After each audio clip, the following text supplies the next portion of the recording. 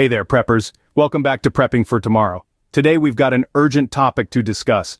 Ever thought about the foods you're stashing away for those just-in-case scenarios?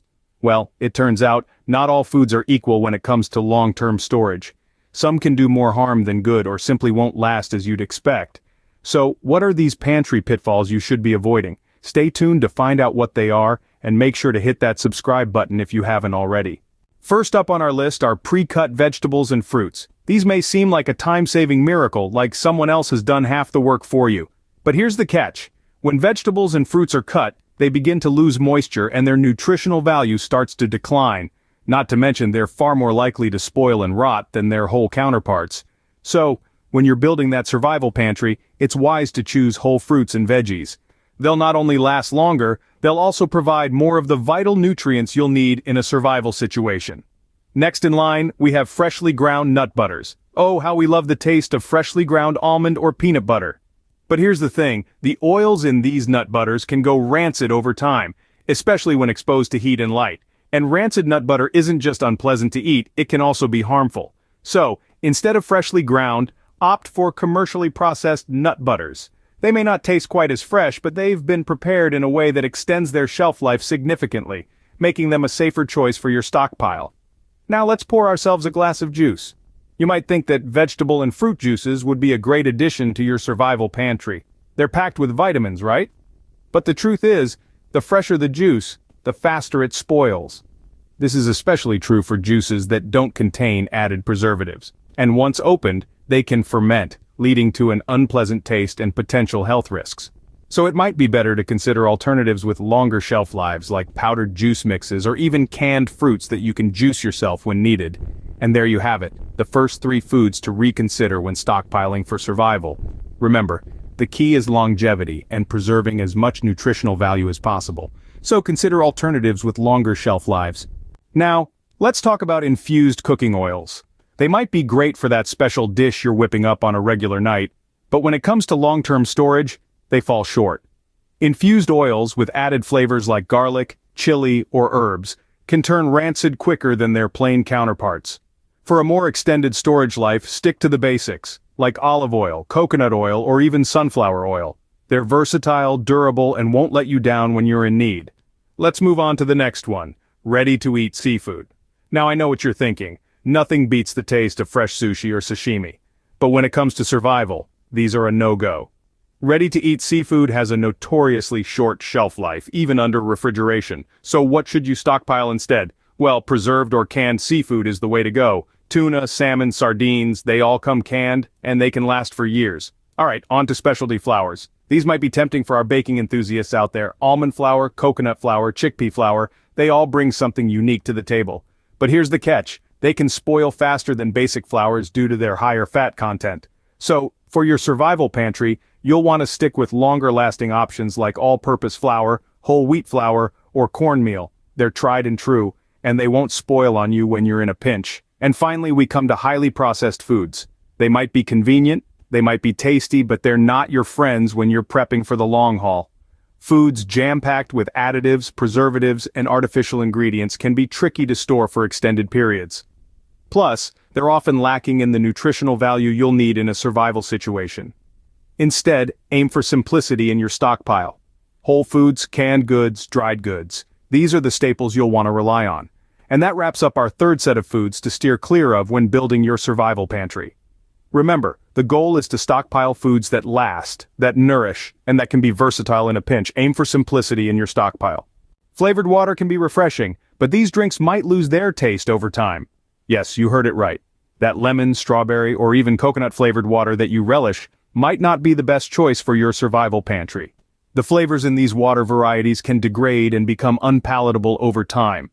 Instead, consider stockpiling plain water which has an indefinite shelf life if stored properly. You can always add flavor to it later when you're ready to drink, using fresh fruits or flavor packets with a long shelf life. Now let's move on to canned foods. We know they seem like an obvious choice for long-term storage, but not all canned goods are created equal. Specifically, low-acid canned foods can pose a risk. Why, you ask? Well, low-acid foods, which include vegetables like green beans and corn, some fruits and meats, are more susceptible to foodborne pathogens if not stored properly.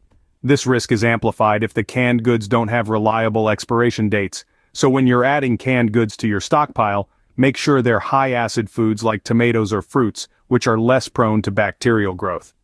Lastly, for this segment, pay attention to the condition of your canned goods. If you spot any canned foods with dents or leaks, it's best to steer clear. These imperfections can compromise the integrity of the seal, increasing the risk of bacterial contamination. It might seem like a minor dent or a small leak, but it could lead to serious foodborne illnesses. Always inspect your canned goods carefully, and only add cans in good condition to your survival pantry. In summary for this segment, avoid flavored waters which might lose their taste, low-acid canned foods which can be susceptible to spoilage, and canned foods with dents or leaks which can compromise the food safety. Ensure your canned goods have clear and accurate labeling. Remember, prepping is all about ensuring you have safe, nutritious, and palatable food for the long haul. Ready-made meals with short expiration dates might not be the best investment for your survival pantry. They may seem like an ideal option due to their simplicity and convenience, but they have a ticking clock. The nutrients in these meals can degrade over time, leaving you with less sustenance than you might expect. Instead, consider stocking up on ingredients that can be used to prepare meals from scratch. These will typically have a longer shelf life and can offer greater versatility in your diet. Now let's talk about highly perishable meats. Deli meats, while mouthwateringly delicious, can spoil relatively quickly. They are not designed to be stashed away for months, let alone years. Instead, consider alternatives like canned or dried meats. These are specially prepared to last for extended periods and can be a reliable source of protein when fresh meat is not available. Moving on, we have dairy products. Items like milk, yogurt, and cheese can be challenging to stockpile due to their perishable nature. They require refrigeration, and even then, they have a limited shelf life. If you're without power for an extended period, these could spoil rapidly. Instead explore alternative sources for essential nutrients. Powdered milk, for instance, can be a great substitute. It's long-lasting, easy to store, and can be reconstituted with water when needed. Lastly, we come to desserts with dairy, like pudding and gelatin cups. These sweet treats might seem like a comforting addition to your stash, but they can spoil over time. Plus, they often require refrigeration, which may not always be feasible in a survival situation. Instead, focus on longer-lasting treats for your survival stash. Options like honey, hard candies, or even chocolate can satisfy your sweet tooth without the risk of spoilage. Remember, when it comes to survival, it's not just about having food but having the right kind of food. Foods that are durable, nutritionally dense and versatile will serve you best in the long run, so make wise choices and build a survival pantry that will truly support you when you need it most. Well, there you have it folks, 14 foods you should steer clear of when building your prepper pantry. We've covered a lot in our journey today, from the deceptive convenience of pre-cut fruits and vegetables to the potential pitfalls of stockpiling specialty flours.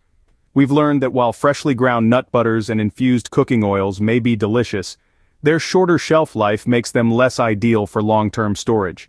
We've also uncovered the truth about ready-to-eat seafood, processed foods, and flavored water, and how these items may not be the best options for your survival cache.